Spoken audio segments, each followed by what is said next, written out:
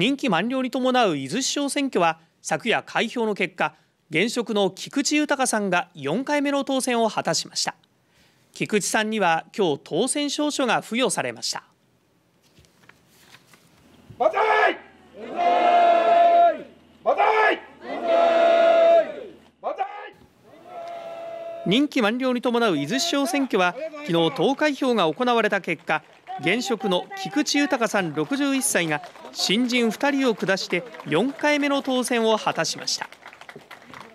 選挙戦では新型コロナウイルスの感染防止のため各候補とも握手や集会を自粛しての活動となりました。菊池さんには今日選挙管理委員会から当選証書が渡されました。安堵しました。あの本当に厳しい結果になると思っておりましたしで我々は観光地にあるものとしてどのような方策を取れば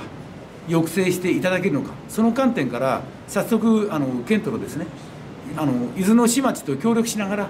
県との具体的な協議を速やかに入らせていただきたいと思います。昨日の市長選の投票率は静岡県に緊急事態宣言が出る中4年前の前回より8.81ポイント高い59.01%でした。